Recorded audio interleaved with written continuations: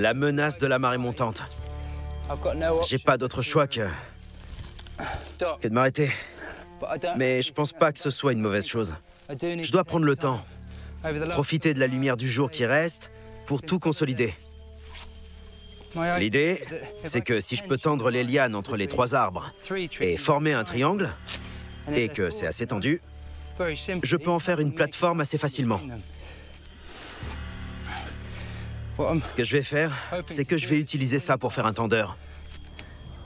Je vais créer une force de tension assez serrée pour supporter mon poids, mais pas trop pour ne pas casser les lianes. Je compte sur ça pour me tenir hors de portée des crocodiles.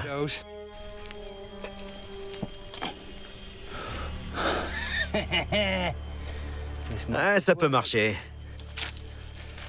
J'ai ajouté des tendeurs pour que ça se croise à l'intérieur.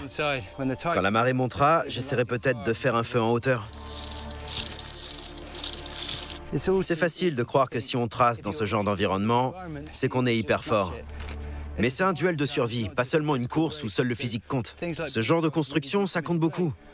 En gros, j'augmente ma capacité à prendre soin de moi.